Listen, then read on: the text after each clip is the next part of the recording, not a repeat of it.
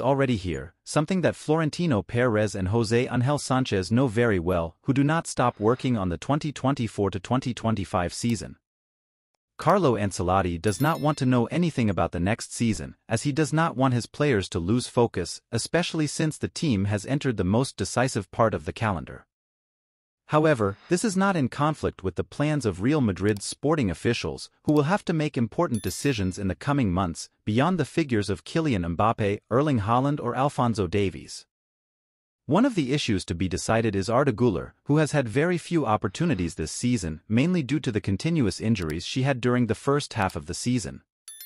Inside the Santiago Bernabeu stadium there are some voices who are betting on a loan for the young Turkish midfielder, even more so after the arrival of Kylian Mbappe in 2024-2025. This bet is not something that coincides with the idea of the Altındağ-born, who hopes to stay at the White Club and show all his football.